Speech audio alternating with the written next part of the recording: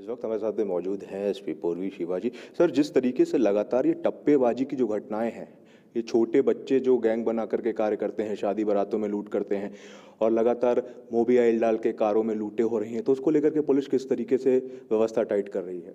हाँ पुलिस वाहन की चेकिंग कर रही है और इसके अलावा हम लोग पैदल मार्च जब करते हैं तो वहीं पर जो संदिग्ध व्यक्ति दिखते हैं वाहनों से जाते हुए तो उनको घेर के एकदम से उनकी तलाशी ली जाती है, वाहन चेक किए जाते हैं और जो संदिग्ध दिखते हैं, उनके ऊपर सतर्क दृष्टि रखी जाती है। अभी हाल ही में सर कई ऐसी घटनाएँ हुई हैं जिसमें कि मोबाइल डाल करके गाड़ियों में बोला गया है कि आपका मोबाइल बह रहा है और लूट हो गई।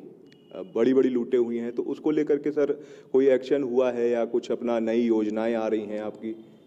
हाँ अभी तक हमारे यहाँ कल एक घटने की, घटना की सूचना मिली है, लेकिन अभी तक कोई तहरीर प्राप्त नहीं हुई है।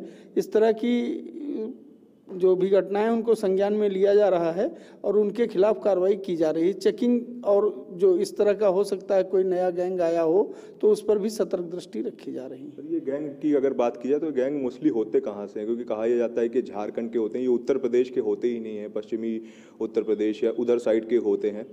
तो इन पर कैसे किस तरीके से कंट्रोल लगाया जाएगा? जैसे कि आपने बोला कि बाहर के गैंग आते हैं हाँ कुछ समय के लिए आते हैं। जैसे आके कहीं होटलों में रुक जाते हैं तो ऐसा हम लोग करते हैं जो आसपास होटलों में छोटे छोटी जगहों पर रुकते हैं। कभी कभी ये कैंप लगा के अपना रहते हैं तो इनको चेक किया जा रहा है।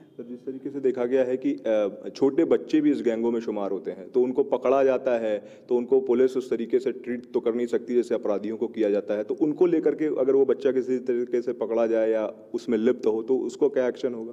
हाँ बच्चों को, बच्चों के खिलाफ एक्शन तो उस तरह से नहीं होता जैसे बड़े लोगों के साथ होता है, फिर भी उनको सुधार गृह भेजा जाता है, फिर बच्चे किसके हैं, किस परिवार से बिलोंग करते हैं, और इसको लेकर के उनके परिवार तक पहुँचा जा सकता है।